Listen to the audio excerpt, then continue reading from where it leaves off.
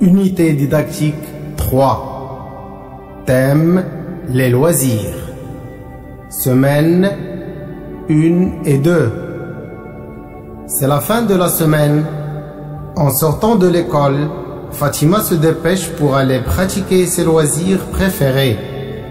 Fedwa l'interroge. Bonjour Fatima, tu es pressée. J'ai un match en ligne d'ici 30 minutes. Tu veux dire une compétition de jeux vidéo? Oui, un jeu électronique sur console ou ordinateur. Et pourquoi tu choisis ce jeu? Il y a d'autres loisirs plus intéressants comme la lecture, la peinture. Et toi, quels sont tes loisirs préférés? Je pratique de l'athlétisme et la natation.